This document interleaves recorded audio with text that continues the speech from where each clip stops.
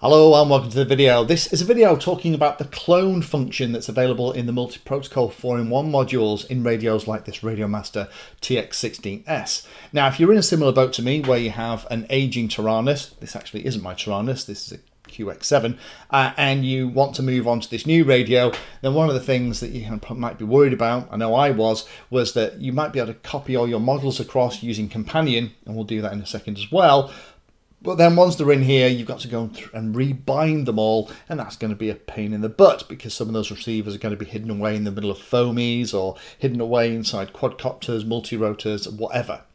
The cool thing is, is there is a feature in here in the latest versions of the 4-in-1 software called cloning.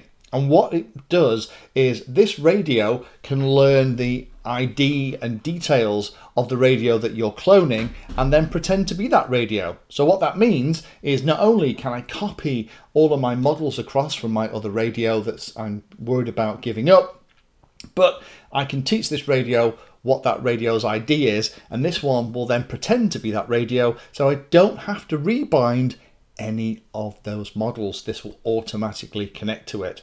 Now, that's one way of using it, where if you're moving from an older FrSky radio or something onto one of these, uh, you don't have to rebind all the receivers, which is pretty spectacular.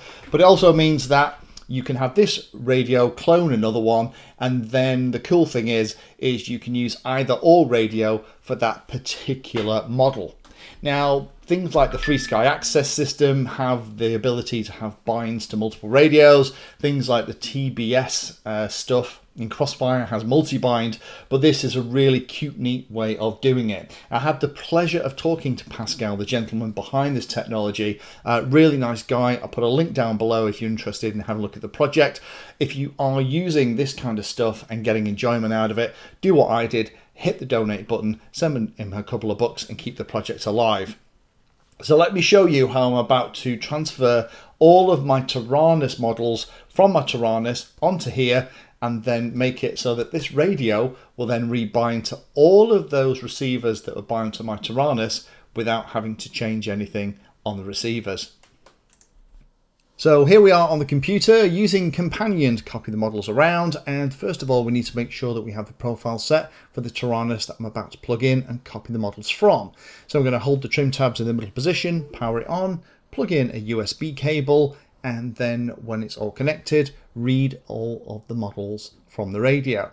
And there are all the ones. You can see here in red all the times I've accidentally got the receiver IDs different. So what we're going to do is we are going to save that onto the computer because we're going to need that in a minute. Um, I'd always recommend if you're going to be using OpenTX, connect it to Companion and back it up every two or three months, then you're not absolutely stuck. So with that saved, Next thing we need to do then is unplug that radio. We can close all that out. Let's swap the radio profile to the new radio that we want to copy the models to.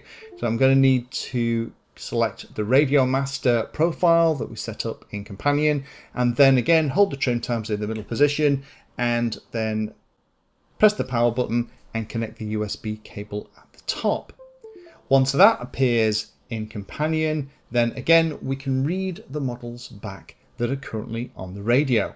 Now right now there aren't that many. This is a relatively new fresh radio that I've only just really started playing with. And then I'm going to open the file that we've just backed up from the Taranis. Is it going to warn me? It's for another radio, another version of OpenTX. It's going to convert them and it is. Be aware of all these warnings. You're going to have to go through and double check that all these models are okay. And don't assume that because you're copying them across, it's going to do it perfectly. I'm just going to drag and drop all the models that I'm interested in having on the new radio into this new Taranis subfolder.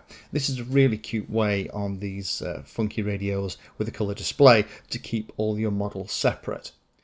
Now take your time with this um, just make sure that you're copying all the ones across. Again, you've got the backup of the radio on your computer anyway, uh, but these are going to be the models along with their IDs that we're going to write to the radio in a moment. So now I've copied everything across, we can close the Taranis backup and I'm going to write the models and settings back to the Radio Master radio.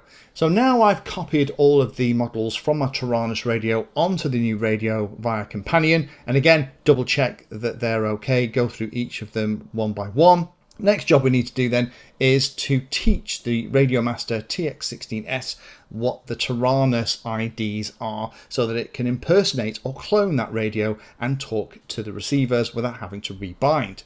Now we're going to turn on the multi stuff for the internal 4-in-1 that's in here and here's all the different protocols and there's loads and loads of different ones. Again links to that project from Pascal that lists all the ones that are available. Uh, it's going to warn me that the ID is already used, but then I've kind of got into trouble here, haven't I? I haven't been uh, watching my IDs on the old radio.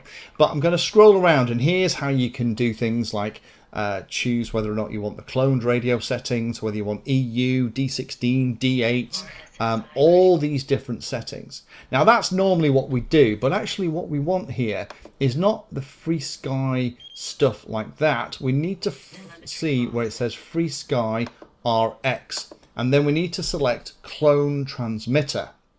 And that's that radio ready to go. So let me put that to the side.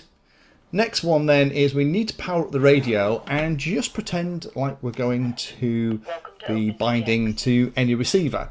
Now this works in lots of different FrSky modes, D16, D8, whatever. Uh, you have to redo it for each of those modes. I'm only bothered about D16, so I'm just going to go for D16. But we can see here that we are all set. I'm going to select bind, and it's going to start beeping.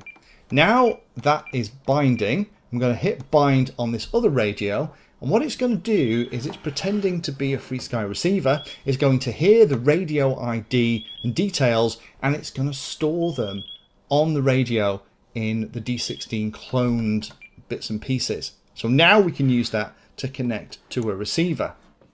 So that's it. Really, really quick. Again, you if you want to use D8, uh, you'll have to do uh, bind to them again using the D8 protocol. Full details of all this stuff in that wiki. Okay, so here we are on the bench. Let me show you this in action. So I have my Taranis um, set up and bound to a little receiver. Let me just grab that, show you. Uh, so there it is. So um, I have to be careful not to get too close, otherwise it'll bounce out. So a little green light. We are connected. We are bound to it in D16 mode and we have a receiver ID of 01. For this to work, the receiver ID needs to be the same. In D8, there aren't any receiver numbers, but if you're using D16, we're going to have to remember that. So remember that we need receiver ID 01. And there we go, it's gone red. I've turned the Taranis off. So let's get our Radiomaster TX16S, power it up. And then what we'll do is we'll go into the ooh, into the model memory and I'll show you how it's doing this. Because look at that. It has bound to the receiver. It's pretending to be my Taranis. So isn't that cool? So let me just show you. So here we've got FrSky protocol selected D16 cloned and the receiver number is 01 which is the same receiver as the Taranis and that should have been copied across anyway and that is what allows it to connect. If it isn't the same receiver number, uh, then it's not going to work. So if it has D16 cloned selected, then this is pretending to be my Taranis that it's just learnt about. Now I'm blown away that this functionality is kind of hidden away in the module and for me and many others it does mean that I can have another radio with all of my key models on that's going to pretend to be my primary radio in case something goes wrong but it's also a fantastic tool if you are looking to upgrade from one older radio from FrSky onto something with a multi-protocol module. It makes it really easy and straightforward. Using Companion, you can copy the models across, and then using the clone function, you can teach your new radio how to imitate the old radio so it can continue to talk to all the receivers that used to be bound to that other radio. Also means that if you just want to have two radios that you can talk to one receiver with, then you can absolutely do that as well. And you can clone one radio as many times as you like. So all of your multi-protocol radios could have the ability to clone your FrSky radio or whatever it is you're using. Again, this is one of those really, really good ideas that it shouldn't be up to third parties to come up with. Pascal has played a bit of a blinder coming up with this technology and building it into the multi-protocol stuff for the 4 and 5 in 1 modules. This should have been done by FrSky and the ability to clone radios to make it easier to move from one model to the other should have been part of how the FrSky system works. They should have made it straightforward for you to move from one model to another. But one last big thank you to Pascal and the multi protocol team for bringing us this kind of cool stuff that just makes our lives so much easier as pilots if you have more than one radio. Thank you for watching my video and watching right to the very end. If you want to find out what I'm currently working on, you can follow me on social media by searching for Painless 360 in the usual places. If you'd like to become part of the inner circle, then you can become a Patreon. Details are in the description and you get lots of additional benefits. Check out the playlist section on the channel too. I organise all of my videos into playlists and it's called something like Introduction to or for Beginners. All of the content is aimed so that you can start at the very beginning and it teaches you that subject starting with simple principles and moving up to teach you everything you need to know.